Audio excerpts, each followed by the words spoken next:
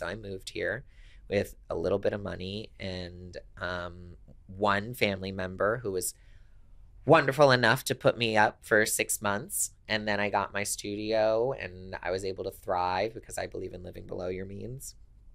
And that's why I'm not flashy on the Instagram and the social media. It just doesn't speak towards my poor white trash nature.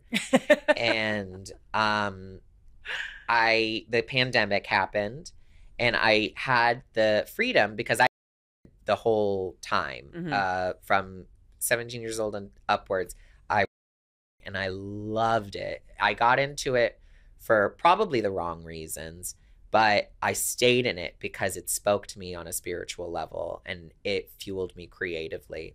How so? That's such an interesting take. Um, so I got into it, I think, for that sort of because I was always growing up like very asexual in perception. The way people looked at me, they didn't think I literally had someone in the sixth grade tell me, "I don't think of you as a boy. I don't think of you as a girl. I just think of you as you." hmm And I said, well, that's rude.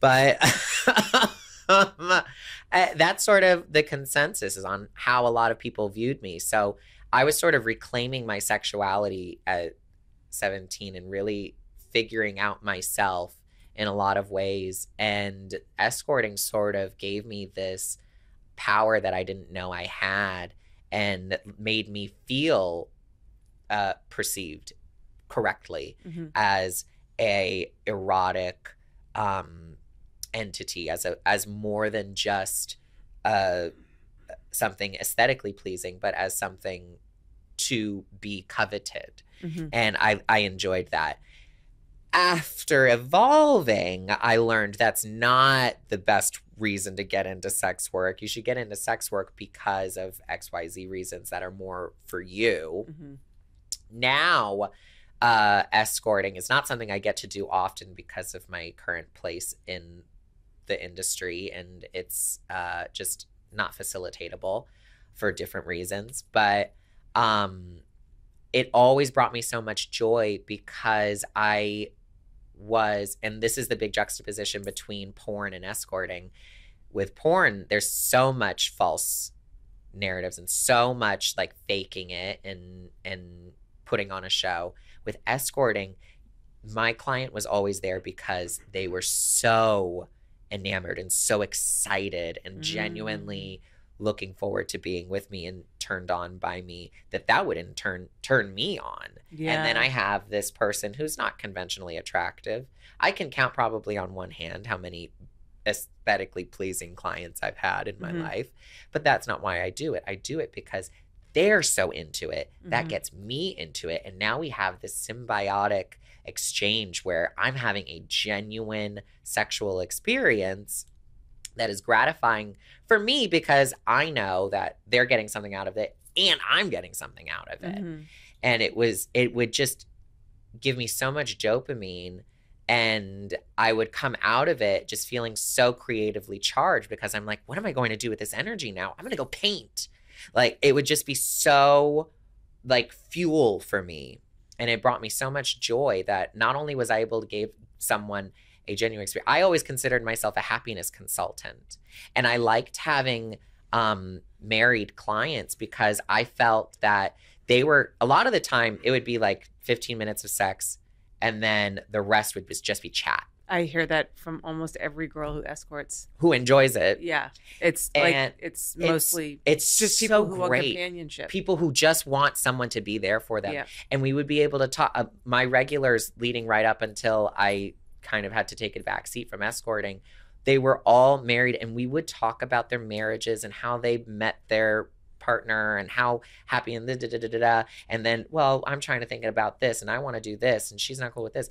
And we would get to like extrapolate on that and we would get to figure out you know solutions and just uh, decompress together. And it would be so illuminating that i feel like they would go home to their wife and be so appreciative of what they have at home Mm. because i pose no threat to their wife if anything wouldn't you rather have your husband having sex with a prostitute someone who's getting tested every two weeks as opposed to their secretary oh my god, hundred percent. And it's who funny. they're going to have an emotional infidelitous relationship I've with. literally said said this to my husband, who's a very normal guy, who's like, you know, we have a very like standard relationship, Yeah. like great relationship. Like, uh, but I've said this to him, like, babe, you know, if you ever want to have sex with somebody else, like, I understand. I'm like, I would just prefer it be a sex worker so that I know it's like a Oh, you're one of the good transactional relationship. yes. And I'm like, and I could even help you find somebody that I trust. And he just looks at me, he's like, You're Ooh, out of your goddamn You mind. are the one. No, but you know what he says to me? He goes, Why don't you just give me blowjobs more often, babe? He's like, I don't want to fuck anybody Hey, communication. And I was like, Okay, enough." wow. You know what? All right. That's communication. But it was like, yeah. I mean, that's like I, you know, and I've said this to him a couple, and he always looks at me like I'm insane. He's like, I don't want to be with anybody else. I'm like, but you ever change your mind, like, just know it's there. that door is open. Oh, I'm open to that discussion. Yeah. But like, let's, you know, like let's let's do this in a way that I'm comfortable with. Fuck yeah. Boundaries. Yeah. Boundaries. I've been the third so many times. Everyone's fucking looking for a goddamn unicorn.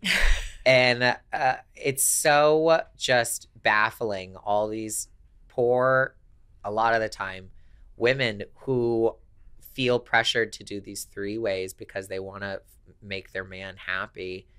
And it's like, dude, this is not healthy communication Yeah. you're here and it's not fun for us and because i'll be i'm a facilitator Mhm. i'll be all up in it i'm making sure she's taken care of we're focusing on her we're doing the you're up there and i'm down here i'm on duty all right you need to switch places let's do it i love it Ooh, you feel good you know like i want to make sure everyone's having a good time Yeah. second he touches me in any sort of way mood shift Mm. and I'm like, dude, this is what I was trying to avoid. Why'd Yeah. you gotta why'd you ruin everything? Yeah. You know, come on, guy.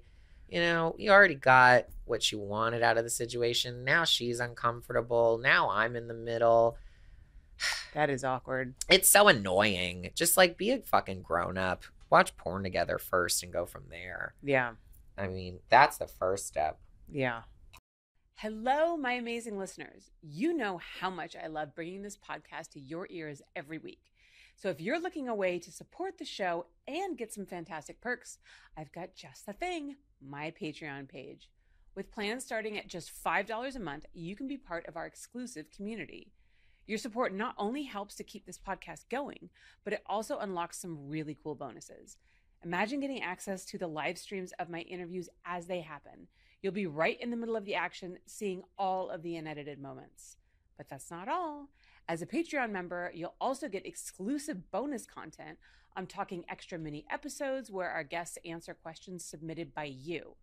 Plus, you'll have access to my fine art photography and behind the scenes videos, giving you a sneak peek into my creative process. And guess what? If you opt for a discounted year long membership, you'll save even more while supporting the show.